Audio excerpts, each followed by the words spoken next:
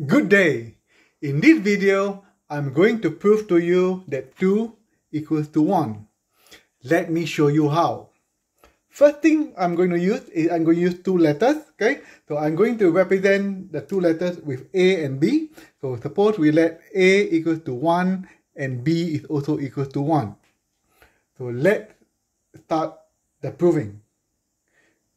Okay, so we are going to start by saying A equals to B because both of them are 1. The first thing I'm going to do is that I am going to multiply that equation by A. When I multiply that equation by A, we will get A squared equals to AB. Okay, now, one next thing we're going to do is to take away B squared from the equation. So when we take away B squared from the equation, the left hand side will become a squared minus b squared and the right hand side equation becomes ab minus b squared. You following me so far? Yeah. Now, what we're going to do is that we're going to factorize. If you know factorization, this is the difference of two squares. a squared minus b squared is the same as a plus b a minus b. You can check this by doing expanding and you'll get that answer again.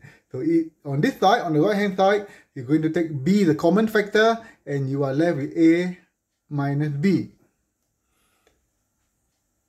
The next thing we're going to do is that we are going to divide by a minus b on both sides because both of them appear. So we're going to divide by a minus b. So you can cancel them out.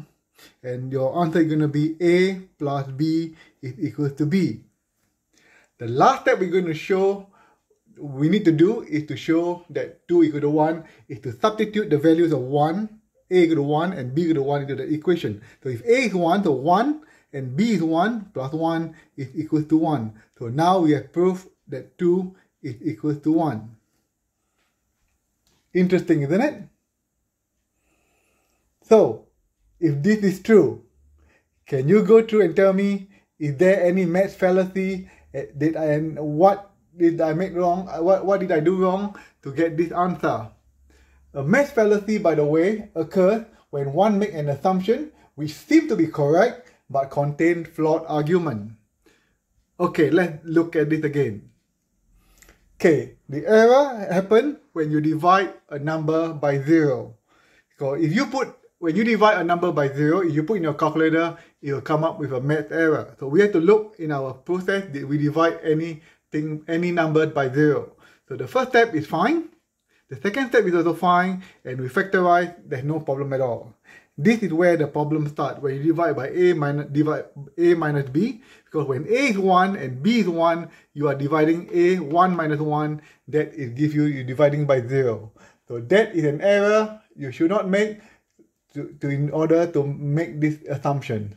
So in actual fact, 2 is not equal to 1 because there's an error in the assumption and this is a math fallacy. Cheers everyone and have a good day.